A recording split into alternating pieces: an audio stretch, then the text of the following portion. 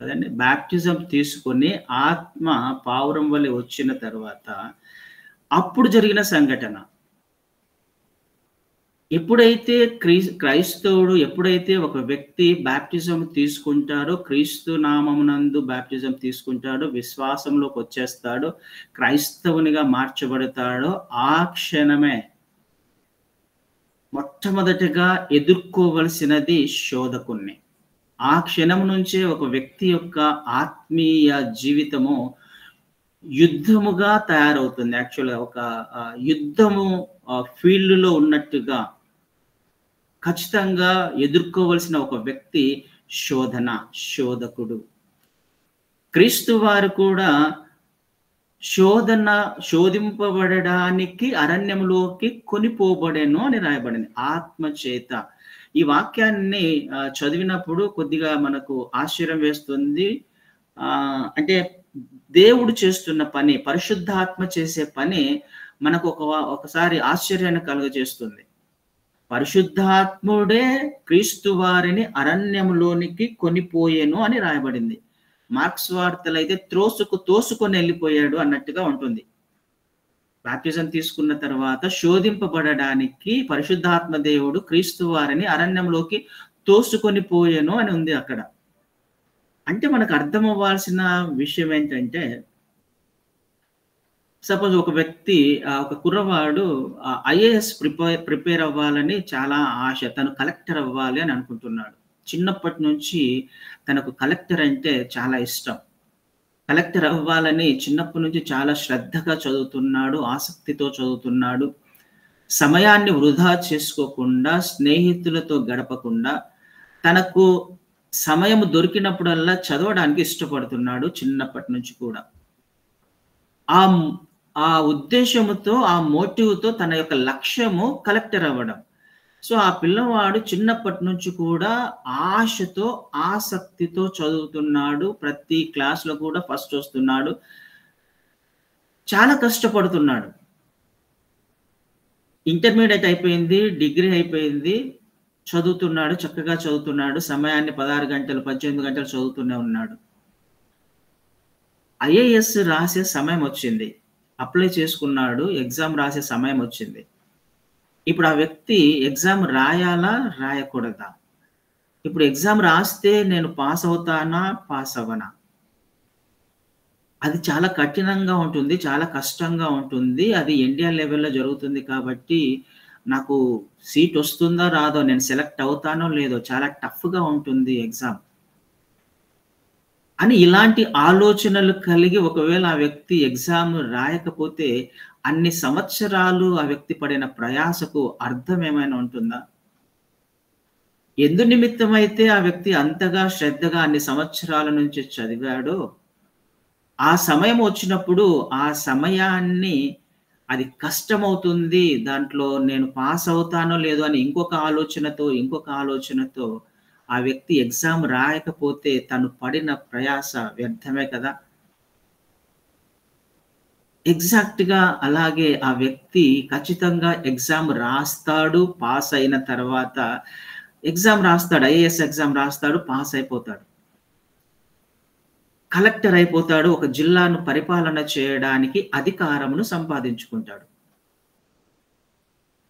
అంటే పరీక్ష అనేది సమస్య అనేది ఒక కఠినమైన పరిస్థితి అనేది ఒక వ్యక్తిని ఉన్నత స్థానానికి చేరుస్తుంది అనే విషయం మనకు తెలుసు.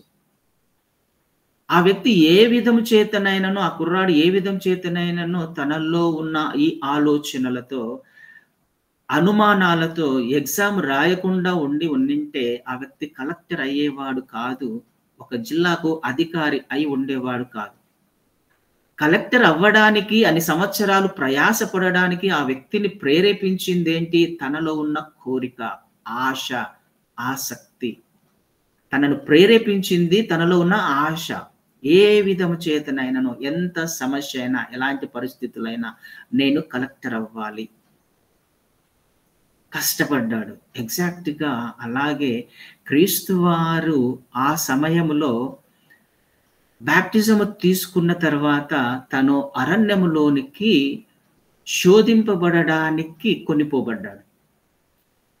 అంటే అర్థం ఏమవుతుంది? అప్పటిదాకా ముప్పై సంవత్సరాల తన జీవితంలో తన తల్లిదండ్రులకు విధేయత చూపిస్తూ జీవించాడు. అప్పటిదాకా తండ్రి చేత మనం చూస్తాం దానికంటే ముందు తండ్రి పరలోకం నుంచి ఈయన నా ప్రియకుమారుడు ఈయన ఎందు నేను ఆనందిస్తున్నాను అని ఒక స్టేట్మెంట్ ఇచ్చేస్తాడు. అప్పటిదాకా ఏ కార్యము చేయని క్రీస్తు వారి ఎందు ఎందుకు తండ్రి ఆనందిస్తున్నాడు? ఏ ఘనకార్యాలు చేయలేదు? ఏ అద్భుతాలు చేయలేదు? ఎవరిని స్వస్థపరచలేదు అప్పటిదాకా? ఎందుకు తండ్రి ఆనందిస్తున్నాడంటే తన యొక్క ప్రవర్తనను బట్టి తన జీవితాన్ని బట్టి తన తల్లిదండ్రులకు లోబడిన విధానమును బట్టి తండ్రి చిత్తములో జీవిస్తున్న విధానమును బట్టి ఆ ముప్పై సంవత్సరాలు తను పడిన ఆ విధేయత తను చూపించిన ఆ విధేయతను బట్టి తండ్రి ఆనందించాడు. తండ్రి సంతోషించాడు. ఇక మీదట నా కుమారుడు ఇక మీదట కూడా తను చేయవలసిన కార్యాలను చేస్తాడు అనే ఆనందము తండ్రికి ఉంది అనే నమ్మకము తండ్రికి ఉంది. తను తండ్రి మీద తండ్రి పెట్టుకున్న ఆ విశ్వాసాన్ని తండ్రి ఎందు నిమిత్తమైతే ఈ లోకంలోకి పంపించాడో ఆ చిత్తాన్ని గ్రహించిన కుమారుడు శోధకునికి భయపడలా. లేకపోతే అరణ్యములో నాకు సమస్యలు ఎదురవుతాయి జయించలేనేమో అనే విషయాల గురించి తను ఆలోచించలేదు. కానీ తనలో ఉన్న ఆ ఆశ అంటే తనలో ఉన్న ఆ పరిశుద్ధాత్మ ముఖాముఖిగా శోధకుణ్ణి ఎదుర్కోవడానికి తండ్రి చిత్తాన్ని నెరవేర్చడానికి తన పరిచర్యను మొదలు పెట్టడానికి మొట్టమొదటిగా శోధకుణ్ణి జయించడానికి ఇష్టపడి పరిశుద్ధాత్మ చేత అరణ్యంలోకి కొనిపోబడ్డాడు. ఇది ప్రతి క్రైస్తవుని జీవితంలో ఖచ్చితంగా జరుగుతుంది. ఇది మనకు అర్థం కావాలి. విశ్వాసంలోకి వచ్చిన తర్వాత క్రీస్తు వారిని అంగీకరించిన తర్వాత మొట్టమొదటగా క్రైస్తవుడు ఎదుర్కోవలసింది శోధనను శోధకుణ్ణి. క్రీస్తు వారు ఎదుర్కొన్నాడు శోధకుణ్ణి. అరణ్యంలో నలభై దినాలు శోధన శోధింపబడ్డాడు. అయితే అక్కడ రాయబడినవి మూడు శోధనల గురించి మాత్రమే ఉన్నాయి కానీ అన్ని శోధనలు కూడా ఈ మూడు శోధనల్లోనే ప్రాముఖ్యముగా మనం చెప్పుకోవచ్చు. అన్ని శోధనలు దీనికి లింక్ అయి ఉంటాయి. ఏ శోధన అయినా కానీ క్రైస్తవుడు ఎదుర్కొంటున్న ఏ శోధన అయినా కానీ ఏ పరిస్థితి అయినా కానీ ఈ మూడు శోధనలలోనే ఖచ్చితంగా కనెక్ట్ అయి ఉంటాయి. కావలసి మనం నేర్చుకుంటూ మనకు అర్థమవుతుంది నేర్చుకుంటూ ఉన్నప్పుడు. అయితే ఇక్కడ పరిశుద్ధాత్మ చేత ప్రభువైన క్రీస్తు వారు అరణ్యంలోకి కొనిపోబడ్డాడు. అక్కడ మూడవ వచనంలో శోధకుడు ఆయన వద్దకు వచ్చి నీవు దేవుని కుమారుడవైతే ఈ రాళ్ళు రొట్టెలకున్నట్లు ఆజ్ఞాపించుమనను. శోధకుడు వచ్చాడు. శోధకుడెవరు? అపవాది చేత శోధింపబడడానికి అని మనం చూసాం శోధన అనేది దేవుని వద్ద నుండి రాదు కానీ అపవాది నుండి వస్తుంది అనే విషయాన్ని కూడా పోయిన వారాన్ని నేర్చుకున్నాం. శోధకుడు అపవాది వాడికి శోధకుడు అనే పేరు. ఈ శోధకుడు వచ్చి ఏ విధంగా శోధిస్తాడు అని అంటే మొట్టమొదటి శోధన గురించి మనం నేర్చుకుంటున్నాం. ఏ విధంగా తను శోధిస్తాడు అని అంటే నీవు దేవుని కుమారుడవైతే ఈ రాళ్ళు రొట్టెలకున్నట్లు ఆజ్ఞాపించుము. మొట్టమొదటగా వాడు మాట్లాడే మాట నీవు దేవుని కుమారుడవైతే. ప్రశ్న. మొదటి నుంచి కూడా వాడు మన జీవితాలతో లేకపోతే మనిషితో చేస్తున్న ఒక ఛాలెంజ్ లేకపోతే ఒక శోధన ప్రాముఖ్యమైన శోధన ఏంటంటే ఇది నిజమా? ప్రశ్న. అనుమానము. ఇది నిజమా? ఏ పండైనా తింటే నీకు ఏమన్నా అవుతుందని దేవుడు చెప్పాడా? క్రీస్తు వారితో మాట్లాడుతున్న మాట నువ్వు దేవుని కుమారుడవేనా? నువ్వు దేవుని కుమారుడవైతే ఖచ్చితంగా మన జీవితాలలో ప్రశ్నతో మొదలు పెడతాడు వాడు. అనుమానం కలిగేలా దేవుని మీద అనుమానం కలిగేలా దేవుని చిత్తాన్ని చిత్తము మీద దేవుని ప్రణాళిక మీద అనుమానం కలిగేలా ఒక ప్రశ్నను మన ముందుకు తీసుకొని వస్తాడు. అది నిజమే ఉంటుంది. అంటే నువ్వు దేవుని కుమారుడుగా అవునా కాదా? అంటే ఈ ప్రశ్నకు సమాధానం చెప్పాలనుకుందాం. క్రీస్తు వారు నువ్వు దేవుని కుమారుడువా? కాదా? నేను దేవుని కుమారుణ్ణి అంటాను దేవుని కుమారుడు అయితే మరి రొట్టెలు చేసి రొట్టెను రాళ్ళను రొట్టె చేసుకొని తినొచ్చు కదా? నీకెందుకు ఈ సమస్య? నీకెందుకు ఈ పరిస్థితి? నీకెందుకు ఈ కష్టాలు? రెండిటికి ఆన్సర్ ఒకవేళ ఏ దానికి ఆన్సర్ చెప్పినా కానీ ఖచ్చితంగా శోధనకు లొంగిపోయిన వాడే అయిపోతాడు క్రీస్తు వారు. నేను దేవుని కుమారుణ్ణే అన్నాడు అని అనుకుంటే రొట్టెలు చేసుకొని తినురాలని నీకు అవసరం లేదు ఆకలితో ఉండాల్సిన అవసరం లేదు కదా. నువ్వు నిత్యత్వంలో ఎప్పుడైనా ఆకలితో ఉన్నావా? తండ్రి వద్ద నీ తండ్రి వద్ద ఆకలితో ఉన్నావా నువ్వు ఎప్పుడైనా? నీ తండ్రి నీకు ఆకలి నీ తండ్రి నీకు భోజనం పెట్టలేడా? నువ్వు ఏది కావాలనుకుంటే అది చేయొచ్చు కదా చేయగలవు కదా? అని ప్రేరేపించడం ద్వారా ఏమైపోతుంది? శోధనకు లొంగిపోయినట్టుగా రొట్టెలు చేసుకొని తిన్నట్లయితే కాదు అన్నాడు అనుకోండి ఏమైపోతుంది? అబద్ధం కదా. ఇలాంటి ఇరుకైన యాక్చువల్గా చూడడానికి చాలా సింపుల్ గానే ఉంటుంది. కానీ సమాధానం చెప్పినప్పుడు అలా చెప్పినా శోధనకు లొంగిపోయినట్టే ఇలా చెప్పినా శోధనకు లొంగిపోయినట్టే. ఇదే జరుగుతుంది మన జీవితంలో. నువ్వు విశ్వాసివేగా నువ్వు క్రైస్తవునివేగా ఈ చిన్న విషయం నిన్నేం చేస్తుంది? ఆ వీడియో చూస్తే నువ్వేమన్నా శోధనకు లొంగిపోతావా? ఆ వీడియో చూస్తే ఏమైనా తప్ప? ఆ పలానా చోటుకు వెళ్తే ఏమైనా తప్పు అవుతుందా ఆ సినిమా చూస్తే ఆ ప- ఆ సినిమా చూసే ప్రభావం నీలో ఏమైనా ఉంటుందా? నువ్వు కంట్రోల్ చేసుకోగలవు కదా. అది నిన్ను ప్రభావితం చేయదు కదా. నువ్వు విశ్వాసివి కదా. ఏదో ఎంటర్టైన్మెంట్ కోసమో ఏదో కాసేపు కాలక్షేపం కోసం చూస్తున్నావు లేకపోతే కాలక్షేపం కోసం వెళ్తున్నావు. నువ్వు క్రైస్తవునివే కదా. నువ్వు విశ్వాసివే కదా. అది ఏం చేయదు కదా నిన్ను. ఇలాంటి శోధన. నువ్వు విశ్వాసివే కదా. క్రైస్తవునికే కదా సంఘానికి వెళ్తున్నావు కదా ప్రార్థన చేసుకుంటున్నావు కదా అనుమానము తీసుకొని వచ్చేలా ఆ అనుమానము మనకు తెలియకుండానే మనం దానికి లొంగిపోయే అవకాశం ఖచ్చితంగా ఉంది.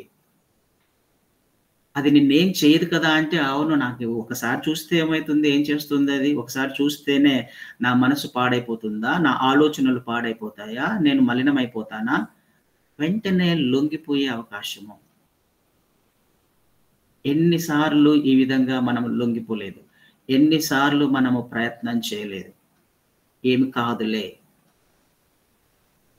నాకేమవుతుంది? సీరియల్ చూస్తే ఏమవుతుంది? దాని ప్రకారం ఏమైనా జీవిస్తానా? సినిమాలు చూస్తే ఏమవుతుంది? దాని ప్రకారం వాళ్ళని అనుసరిస్తానా? ఎవరు తీసుకొచ్చారు ఈ ఆలోచనలు? శోధన. మొట్టమొదటగా నిన్ను ప్రశ్నించే ఆలోచన నీ మార్గాన్ని లేకపోతే నీ ఐడెంటిటీ మీద దేవుని మీద అనుమానం వచ్చే ప్రశ్న నీ ముందుకు తీసుకొని వస్తాడు శోధకుడు. కాదు కదా ఏమి కాదు కదా అవ్వదు కదా అనే ఆలోచన ఖచ్చితంగా వస్తుంది. యథార్థంగా జరిగిన ఒక సంఘటన గురించి చెప్పే ప్రయత్నం చేస్తాను. ఒక సిస్టరు జాబ్ ఉద్యోగ నిమిత్తము కొద్దిగా దూరంగా ఉండే ప్రయత్నం చేస్తుంది తన కుటుంబానికి. ప్రతి వారము ప్రతి శనివారం ఆదివారం ఇంటికి వస్తుంది. మిగతా రోజుల్లో ఆ హాస్టల్లో ఉంటుంది. అంటే ఆ ఒక అపార్ట్మెంట్లో రెంట్కి తీసుకొని అక్కడ ఉద్యోగం చేస్తే ప్రతి వారం ఇంటికి వచ్చి పోతుంటుంది. మంచి విశ్వాసే క్రైస్తవురాలు. చక్కగా తను ఉద్యోగం చేసుకుంటుంది వెళ్తుంది వస్తుంది. సాయంకాలం ఇంట్లో ప్రార్థన చేసుకుంటుంది. బాగుంటుంది. చాలా ఆత్మీయురాలుగా ఉంది. అయితే అదే అపార్ట్మెంట్లో బ్యాచిలర్స్ కూడా కొంతమంది నలుగురు ఒక రూమ్లో ఉన్నారు. వాళ్ళు కూడా ఉద్యోగ నిమిత్తం చేస్తున్నారు ఉద్యోగం చేస్తున్నారు. అయితే తనకు ఒక చిన్న ప్రేరేపణ. వాళ్ళు అన్యులుగా ఉంటున్నారు. అంటే వాళ్ళ అల్లరిని చూసి లేకపోతే వాళ్ళ మాటలను చూసి తనకు కొద్దిగా బాధ వేసింది వీళ్ళకు దేవుని సువార్త చెప్పాలి. దేవుని గురించి తెలియజెప్పాలి అని తనలో ఒక ఆశ పుట్టింది. తప్పేం కాదు కదా? సువార్త చెప్పాలన్నది తప్పేం కాదు. సరే తను సువార్త చెప్పడము వాళ్ళను పరిచయం చేసుకోవడం మొదలుపెట్టింది. వాళ్ళు కనపడినప్పుడు నవ్వడము లిఫ్ట్లో కనపడినప్పుడు వాళ్ళతో పరిచయం చేసుకోవడం మాట్లాడడము అలా మెల్లమెల్లగా పరిచయం చేసుకొని క్రీస్తు వారి సువార్త చెప్పడానికి మొదలుపెట్టింది. వాళ్ళు వింటున్నారు. తరచుగా రూమ్కు వెళ్ళడం మొదలుపెట్టింది. వింటున్నారు మాట్లాడుతున్నారు స్నేహితులు అయ్యారు కానీ ఒకసారి ఒకరోజు ఒంటరిగా ఉన్న ఒక వ్యక్తితో మాట్లాడడం మొదలుపెట్టింది. అక్కడ తన ఆలోచనలు తన పరిస్థితులు ఖచ్చితంగా మారిపోయాయి. తప్పు చేసే అవకాశము ఆ సమయంలో వారికి వచ్చింది. తప్పు చేశారు. పాపం చేశారు. ఆ తర్వాత ఆ స్త్రీ యొక్క పరిస్థితి ఏంటి? ఆ సిస్టర్ యొక్క పరిస్థితి ఏంటి? ఏమి చేయడానికి తను ప్రయత్నం చేసింది? నేను క్రైస్తవురాలనే విశ్వాసినే స్వార్థ చెప్పాలన్నది దేవుని వాక్యంలో ఉంది కదా? స్వార్థ చెప్పాలి కదా? వాళ్ళు నశించిపోతున్నారు కదా? తన ఆలోచన మంచిదే. కానీ ఎవరు తీసుకొని వచ్చారు ఈ ఆలోచన? ఇది గ్రహించాలి. గ్రహించకుండా ఆ చిన్న డిఫరెన్స్ తెలుసుకోకుండా మనము చేయవలసిన పని ఏంటి? ఇది దేవుని చిత్తమా కాదా అని తెలుసుకోకుండా తను చేసిన పని దేవుని చిత్తమే. దేవుని మార్గంలో దేవుని వాక్య ప్రకారం చేసే ప్రయత్నమే చేసింది. కానీ తనకు తెలియని విషయం ఏంటంటే తను యాక్చువల్గా మనం గమనించాల్సిన విషయం ఏంటంటే ఏ వ్యక్తి కూడా ఆపోజిట్ సెక్స్తో ఖచ్చితంగా సువార్త ఒంటరిగా ఉన్నప్పుడు సువార్త ప్రకటించే అవకాశం వచ్చినా చెప్పకుండా అక్కడి నుంచి తప్పించుకోవాల్సిన అవసరం ఖచ్చితంగా ఉంది. అంటే ఒక సహోదరుడు ఒక సహోదరితో ఒంటరిగా ఉన్నప్పుడు మాట్లాడడము లేకపోతే సువార్త చెప్పడము చెప్పే అవకాశం వచ్చినా అక్కడి నుంచి వెళ్ళిపోవడము చాలా క్షేమం అది. ఒక సహోదరి సహోదరునితో మాట్లాడకూడదు సహోదరుడు సహోదరునితో మాట్లాడకూడదు. తన హృదయంలో ఏమి లేకపోయినా ఆలోచనలో ఏమి లేకపోయినా తర్వాత తర్వాత మాత్రం ఖచ్చితంగా శోధకుడు ఖచ్చితంగా శోధించే అవకాశం ఉంది.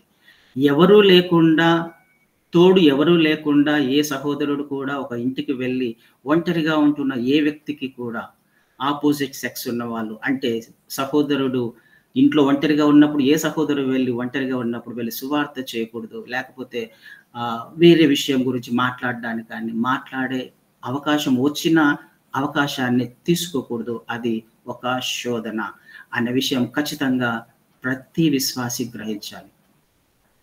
తన ఉద్దేశం ఆ సిస్టర్ ఉద్దేశం మంచిదే. కానీ తను చేసిన పని తర్వాత తర్వాత తర్వాత ఏమైపోయింది? పరిచయం ఎక్కువైపోయింది. లీనియస్ తీసుకున్నారు. తప్పు జరిగిపోయింది. మరి ఏమైపోయింది తన విశ్వాసం? ఫస్ట్ స్టెప్ బాగానే ఉంటుంది. మన ఆలోచనలు బాగానే ఉంటాయి. మన ప్రవర్తన బాగానే ఉంటుంది. ఏమవుతుంది లే అని అనుకుంటాం. యథార్థంగానే ఉంటాం ఫస్ట్లో కానీ తర్వాత ఖచ్చితంగా అది ట్రాప్ అనే విషయం మనకు అర్థం అవ్వాలి ఇది శోధకుని యొక్క ట్రాప్ అనే విషయం మనకు అర్థం అవ్వాలి నాకు తెలిసిన పాస్టర్ గారే ఉన్నారు. చాలా క్లోజ్. యవ్వన కాలంలోనే దేవుని చేత పట్టబడ్డాడు. పద్దెనిమిది సంవత్సరాల వయసులోనే సేవకునిగా తను సమర్పించుకున్నాడు. పరిచర్య మొదలుపెట్టాడు. ఐదు సంఘాలు నాలుగు సంఘాలు ఐదు సంఘాలు స్థాపించాడు. హైదరాబాద్కు వచ్చినప్పుడల్లా ఖచ్చితంగా నన్ను కలుస్తూ ఉండేవాడు. వచ్చినప్పుడు కలిసి కాసేపు ప్రార్థన చేసుకుంటూ ఉండేవాళ్ళం. తను ఒక రోజు వచ్చాడు చాలా డల్గా కనిపించాడు. ఏం బ్రదర్ అలా ఉన్నావు? బాగానే ఉన్నానే అన్నాడు. అంటే లేదు కనపడుతుంది నేను ఫేస్ ఎందుకో చాలా డల్గా ఉన్నారు అని అంటే నిజం కనిపిస్తుందా? సరే ఏం లేదులే అన్నాడు. కాసేపు మాట్లాడుకున్నాం. నేను బలవంతం చేయలేదు కానీ ఎందుకు అలా ఉన్నావు? అని మామూలు క్యాజువల్గా ఏదైనా ప్రాబ్లం ఉండొచ్చు కదా అన్నట్టుగా మాట్లాడలేదు కానీ మామూలుగా మాట్లాడుకున్నాం వెళ్ళిపోయారు. నెక్స్ట్ వీక్ వచ్చిన ఫోన్ అంటే ఆ వ్యక్తి పాస్టర్ గారు సూసైడ్ చేసుకొని చనిపోయాడు. ఆదివారం రెడీ అయ్యాడు సిద్ధపడ్డాడు. నేను వస్తున్నాను ప్రార్థన చేసుకుని వస్తానని వాళ్ళ కుటుంబానికి కూడా భార్య పిల్లలకు చెప్పాడు. వాళ్ళు బయట ఎదురు చూస్తున్నాడు లోపల ఊరేసుకొని చనిపోయాడు. ఏంటి సమస్య అని అంటే ఈ విధంగానే సువార్త చెప్పడానికి ఇంటికి వెళ్ళాడు. తనకు తెలియదు భార్య భర్తలు ఉంటారనుకున్నాడు కానీ భర్త లేడు. సువార్త చెప్పాడు. ఆ భర్త ఉద్యోగానికి వెళ్తాడట ఆ సమయంలో. ఆ మార్గంలో వెళ్ళినప్పుడు ఇంటికి వెళ్ళాడు. సువార్త చెప్పాడు మంచిదే. మళ్ళీ ఆ మార్గంలో వెళ్ళినప్పుడు మళ్ళీ వెళ్ళాలి అనే ఆశ పుట్టింది. మళ్ళీ వెళ్తున్నప్పుడు మళ్ళీ వెళ్ళాలి అనే ఆశ పుట్టింది. చిన్న తప్పు జరిగింది పొరపాటు జరిగింది. ఈ విషయము భర్తకు తెలిసింది ఈ విషయము సంఘస్థులకు తెలిసింది. అవమానించబడ్డాడు తట్టుకోలేకపోయాడు సూసైడ్ చేసుకున్నాడు. ఆలోచన చేద్దాం. ఇలాంటి శోధనలు ప్రతి వ్యక్తికి ఎదురయ్యే అవకాశం ఉంది. ఏ సేవకుడైనా లేకపోతే ఏ విశ్వాసి అయినా ఎదుటి వ్యక్తి సహోదరుడైతే సహోదరి ఒంటరిగా ఉన్నప్పుడు సహోదరి అయితే సహోదరుడు ఒంటరిగా ఉన్నప్పుడు ఖచ్చితంగా సువార్త చేయకూడదు. అది సువార్తే కావచ్చు దేవుని పనే కావచ్చు అయినా కానీ అది ఇతరులు లేకుండా ఒక తోడు లేకుండా నలుగురు లేకుండా ఆ పని చేయడం మాత్రం ఖచ్చితంగా తప్పే అవుతుంది. ఆ టైంలో నీకు ఏం అనిపించకపోవచ్చు కానీ తర్వాత మాత్రం ఖచ్చితంగా అది ప్రేరేపించబడే అవకాశం ఉంది. ఎలాంటి ఆలోచనలు తీసుకొని వస్తారు? క్రీస్తు వారికే శోధన వచ్చింది. నీకు నాకు రావా? లొంగిపోమా? ఖచ్చితంగా లొంగిపోతామండి. ఆలోచన చేద్దాం. నువ్వు దేవుని కుమారుడివేనా? దేవుని కుమారుడు అయితే మరి నీకెందుకు ఈ సమస్య? క్రైస్తవుడివే కదా? ఎందుకు నీ కుటుంబంలో ఎన్ని సమస్యలు ఉన్నాయి? ఎందుకు ఎన్ని సమ ఎంత అవమానకరంగా జీవిస్తున్నావు? ఎందుకు ఇంత ఆర్థికంగా ఇబ్బందులు పడుతున్నావు? తండ్రి ఆ విధంగా చేస్తాడా? నీకు నిజంగా తండ్రి అయితే నిన్ను అవమానాల గుండా తీసుకువెళ్తాడా? సమస్యల గుండా తీసుకువెళ్తాడా? అనారోగ్యం గుండా తీసుకువెళ్తాడా? ఆర్థిక ఇబ్బందుల గుండా తీసుకువెళ్తాడా? ఎందుకు నీకే నీ పిల్లలకు ఈ విధంగా అవుతుంది? నీ కుటుంబంలో నీ పిల్లలే ఎందుకు ఈ విధంగా తయారయ్యారు? నువ్వు సేవిస్తున్న దేవుడు నిజమైన దేవుడేనా? నీకు తండ్రేనా నువ్వు క్రైస్తవునివేనా? ఇలాంటి ప్రశ్నలు ఎన్నిసార్లు మన జీవితంలో రాలేదు.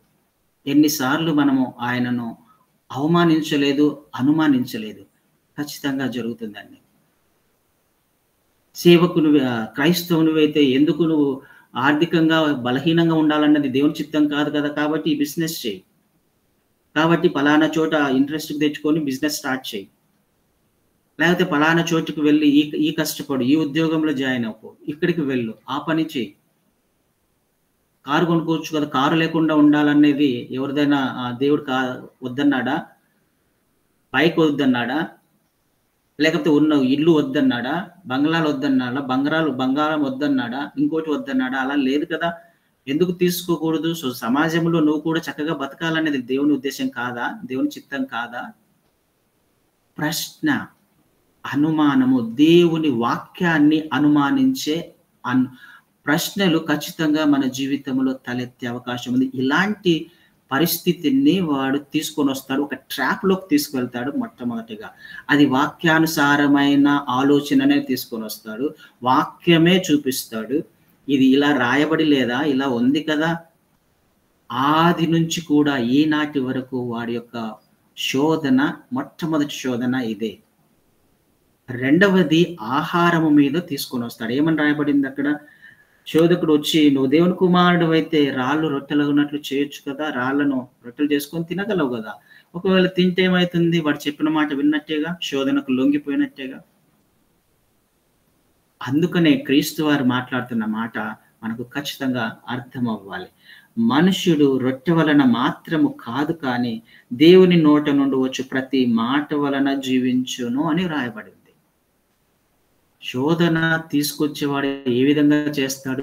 దేవుణ్ణి దేవుని చిత్తము మీద ఆధారపడకుండా నీ సొంత ప్రయత్నం చేసే ప్రయత్నం చేస్తాడు. సొంతంగా నీ జ్ఞానం చేత నీ మార్గములో ఈ సమాజంలో సంతోషంగా ఆనందంగా జీవించేలా. అది దేవుని చిత్తము కాదు. దేవుడు ఏమైనా నిన్ను ఆ పేదవాడిగా ఉండమని అనారోగ్యంతో ఉండమని అనలేదు కదా? అలాంటప్పుడు నువ్వు ఎందుకు ఇది ప్రయత్నం చేయకూడదు? దేవుని మీద ఆధారపడకుండా. కానీ దేవుడు క్రీస్తు వారు ఏమని మాట్లాడుతున్నారు ఇక్కడ? మనుష్యుడు రొట్టె వలన మాత్రం కాదు దేవుని నోట నుండి వచ్చి ప్రతి మాట వలన బ్రతుకుతాడు.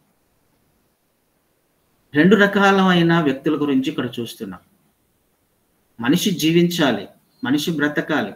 అయితే ఇక్కడ మాటల బ్రతకాలి అని అంటే ఏం కావాలి? రొట్టె కావాలి. కదా జీవనోపాధి కావాలి. ఆహారం కావాలి. కానీ దీని ద్వారానే బ్రతక అంటే రొట్టె కొరకు బ్రతికే వాళ్ళు ఉన్నారు. దేవుని వాక్యము కొరకు బ్రతికేవారు ఉన్నారు. దేవుని వాక్యము మీద ఆధారపడి బ్రతికేవారు ఉన్నారు అనే విషయం అర్థమవుతుంది కదా. రొట్టె కొరకు బ్రతికే వాళ్ళు ఉన్నారు. రొట్టె కొరకు కాకుండా కదా. మనుష్యుడు రొట్టె వలన మాత్రమే కాదు. మనిషి రొట్టె వలన మాత్రమే కాదు కానీ దేవుని నోట నుండి. అంటే రొట్టె కొరకు మాత్రమే ఆహారం కొరకు మాత్రమే కొంతమంది తినడానికి బ్రతుకుతున్నట్టుగా ఉంటారు. కదండి సంపాదించడానికే వాళ్ళు వాళ్ళ ఉదయం పొద్దున్నే లేస్తూ ఉంటారు. సంపాదించాలి అది సంపాదించాలి ఇది సంపాదించాలి. ప్రయాస పడుతుంటారు ఉదయం రా ఉదయం ఎప్పుడో లేస్తారు రాత్రి ఎప్పుడో ఇంటికి వస్తారు సమాధానం ఉండదు. ఎంతో శ్రమ పడుతుంటారు. నెమ్మది ఉండదు. రొట్టెను సంపాదించుకోవడానికి ప్రయాసపడుతుంటారు. జీవమును సంపాది ఈ లో లోకంలో కంఫర్టబుల్గా జీవించడానికి సంపాదించుకోవడానికి ప్రయత్నం చేస్తూ ఉంటారు. దీని వలన మాత్రం కాదు మనిషి బ్రతికేది. దేవుని నోట నుండి వచ్చే మాట వలన బ్రతుకుతాడు. అంటే అర్థం ఏంటి? ఈ ఆహారానికి కూడా దేవుని మీద ఆధారపడాలి అని అర్థం. చిన్న విషయానికి కూడా దేవుని మీద ఆధారపడాలి అని అర్థం. శోధకుడు ఏం చేస్తాడు? అవసరమా? ఎందుకు నువ్వు దీని మీద నీ సొంతంగా నీకు జ్ఞానం లేదా? నువ్వు ప్రయత్నం చేయలేవా? నీకు శక్తి లేదా? నీ మీద ఆధారపడేలా వాడు శోధన తీసుకొని వస్తాడు. కానీ దేవుని మాట దేవుడి వాక్యం ఏం సెలవిస్తుంది? రొట్టె కొరకు కూడా బ్రతకాలి అని అంటే దేవుని మాట మీద ఆధారపడాలి. చిన్న విషయానికి కూడా నువ్వు దేవుని మీద ఆధారపడాలి. ఎందుకు? శోధకుడు ఏం చేస్తాడో దేవునికి తెలుసు కాబట్టి. ఏ విధంగా మనం ట్రాప్లో ఇరుక్కుపోతామో దేవునికి తెలుసు కాబట్టి ప్రతి చిన్న విషయము నా మీద ఆధారపడమని దేవుడు ఇష్టపడుతున్నాడు కోరుకుంటాడు. అందుకనే ఆత్మనిచ్చింది ఆయన. ఆత్మ చేత నడిపించబడుతున్న వారు దేవుని మీద ఆధారపడే ప్రయత్నం చేస్తాం ఆత్మ చేత నడిపించబడుతున్నారు ప్రభు అయిన క్రీస్తు వారు. ఆత్మ చేత అరణ్యంలోకి కొనిపోబడ్డాడు. అక్కడ జరిగిన ఆ శోధనను ముఖాముఖిగా ఎదుర్కోవడానికి ఫేస్ చేయడానికి ఉన్నత శిఖరాలకు చేరుస్తుంది ఒక సమస్య దానిని జయించినప్పుడు. శోధకుణ్ణి ఒక చిన్న మాటతో ఒక క్రీస్తు వారు మాట్లాడుతున్న మాట దేవుని మీద ఆధారపడి దేవుని వాక్యం మీద ఆధారపడి ఆయన ఈ విధంగా చెప్పాడు కదా ఈ విధంగా రాయబడి ఉంది కదా ఇది కదా అసలైన మాట. నువ్వు చెప్పింది నిజమే నేను దేవుని కుమారుణ్ణే. కానీ నా దేవుడు నాకేం చెప్పాడు తెలుసా? దేవుని వా మాట మీద ఆధారపడినాడు ఆధారపడమని చెప్పాడు. కదండి? దేవుని నోట నుండి వచ్చు ప్రతి మాట మీద ఆధారపడమన్నాడు. ఆయన మార్గంలో నడవమన్నాడు. ఆయన చిత్తంలో జీవించమన్నాడు. ఇది నా దేవుడు నాకు నేర్పించింది. ఆహారం కొరకు కూడా ఆయన నా ఆయన మీద ఆధారపడినాడు. ఆయన నాకు ఆహారం ఇవ్వగలడు. ఆయన ఇస్తాడు. జీవనోపాధి ఆయన నాకు ఇస్తాడు. ఆయన నన్ను అవమానానికి లేకపోతే ఆకలితో చంపేయడం అనేది ఆయన ఉద్దేశం కాదు. ఈ విషయం నాకు తెలుసు. ఆ విషయము బైబిల్లో రాయబడి ఉంది. లేఖనాలలో రాయబడి ఉంది. అని ద్వితీయోపదేశ కాండంలోని ఒక కోట్ని ఇక్కడ బైబిల్లోని వర్డ్స్ని ప్రభువైన క్రీస్తు వారు ఇక్కడ చూపించినట్టుగా మనకు అర్థమవుతుంది. ఒక వాక్యాన్ని తీసుకొని వచ్చి వాడు మన ముందుకు తీసుకొని వచ్చినప్పుడు దానికి సరైన వాక్యం కూడా మనకు తెలిసి ఉండాలి. ఆ శోధన ఏంటో మనకు తెలిసి ఉండాలి. ఇది దేవుని చిత్తమా కాదా అన్న విషయం కూడా మనం గ్రహించే వారముగా ఖచ్చితంగా ఉండాలి. ఆలోచన చేద్దాం. ఇలాంటి శోధన వాడు తీసుకొని వస్తాడు. దేవుణ్ణి వాగ్దానాలను అనుమానించేలా. దేవుని చిత్తాన్ని అనుమానించేలా. మనం వెళ్తున్న ఆ సమస్యను దేవుని మీద చూపించే ప్రయత్నం చేస్తాడు. నువ్వు ఎందుకు ఇలా ఉన్నావు? నువ్వు దేవుని కుమారునివైతే క్రైస్తవునివైతే విశ్వాసివైతే ఎన్నో సంవత్సరాల నుంచి ప్రార్థన చేస్తున్నావు. ఎన్నో సంవత్సరాల నుంచి ఆత్మీయంగా ఉన్నావు ఎన్నో సంవత్సరాల నుంచి నమ్మకంగా ఉన్నావు అయినప్పటికీ ఎందుకు నీకు ఇది ఈ సమస్య ఈ పరిస్థితులు దేవుని మీద అనుమానం కలిగేలా ఇలా చేయొచ్చు కదా అని తప్పిపోయే విధంగా మన ఆలోచనల ద్వారా వాడు ఖచ్చితంగా ప్రేరేపిస్తాడు. అయితే మనకు తెలియాల్సింది నిజమే నా దేవుడు అనుమతిస్తే నేను ఖచ్చితంగా వెళ్తాను. ఆ ప్ర ఐఏఎస్ ఎగ్జామ్ రాయకపోతే ఆ వ్యక్తి ఐఏఎస్ అయ్యేవాడు కాదు కలెక్టర్ అయ్యేవాడు కాదు ఒక జిల్లాకు అధికారి అయ్యేవాడు కాదు పరిపాలన చేసేవాడు కాదు. ఈ శోధనను నేను తప్పించుకోకూడదు. శోధన జయించాలి. నా దేవుని వాక్యం ఇలా సెలవిస్తుంది నేను ఈ విధంగా చేస్తాను. ఈ విధంగా వెళ్తాను. నా దేవుని మార్గం ఇది. నా దేవుని చిత్తం ఇది. నువ్వు చెప్పింది నిజమే కానీ నా దేవుడు ఇలా చెప్పాడు. నా దేవుని మార్గం ఇలా చెబుతుంది. అని ఆ విధంగా నిలవబడే ప్రయత్నం చేసినప్పుడు ఆ శోధన నిలవబడినప్పుడు నువ్వు ఆత్మీయంగా మరొక అడుగు ముందుకు వేసే అవకాశం ఉంది. ఆత్మీయంగా నువ్వు ఒక ఉన్నత శిఖరానికి చేరే అవకాశం ఉంది. నీకు వచ్చే శోధన నిన్ను బలపరుస్తుంది ఆత్మీయతలో. విశ్వాసంలో స్థిరపరుస్తుంది. ఇది మనకు అర్థం కావాలి. అయితే ఈ శోధన ఎలా ఉంటుంది? ఎలా తీసుకొని వస్తాడు అంటే మొట్టమొదటి శోధన నిన్ను నీ విశ్వాసాన్ని అనుమానించేలా ఉంటుంది. నీకు దేవునికి ఉన్న సంబంధాన్ని ప్రశ్నించేదిగా ఉంటుంది. నీవు ఆహారం అంటే నీ జీవనోపాధి బ్రతకడానికి నువ్వు చేస్తున్న ప్రయత్నంలో ఇంకా బిజీ చేయడానికి ప్రయత్నం చేస్తుంది. దేవుని చిత్తములో నుంచి తప్పిపోయేలా. ప్రయత్నం చేయొచ్చు కదా ప్రయాస పడవచ్చు కదా వెళ్ళొచ్చు కదా ఉండొచ్చు కదా ఇంకా కొంచెం కష్టపడొచ్చు కదా. రొట్టె రొట్టె సంపాదించుకునే ప్రయత్నంలో బిజీ చేసే ప్రయత్నం చేస్తుంది ఈ శోధకుడు అపవాది. ఆలోచన చేద్దాం మన జీవితాలను ఒక్కసారి దేవుని పాదాల వద్దకు తీసుకువెళ్దాం. వెళ్తున్న ప్రతి పరిస్థితి మీద ప్రతి కఠినమైన సమస్యను దేవుని పాదాల వద్దకు తీసుకొని వచ్చే ప్రయత్నం చేద్దాం. ఇది నా దేవుని చిత్తము. ఇది నా దేవుని చిత్తము. ఇది దాని దేవుని మార్గము. అది తప్పు అయినప్పుడు అది ఖచ్చితంగా దాని నుంచి తప్పించుకోవడము లేకపోతే దూరంగా వెళ్ళిపోవడము మనం చేయాల్సిన మొట్టమొదటి పని. అలలుయ దేవుడు తన పరిశుద్ధ వాక్యమును మనం ఇంట్లో ఆశీర్వదించిన గాక thank you thank you so much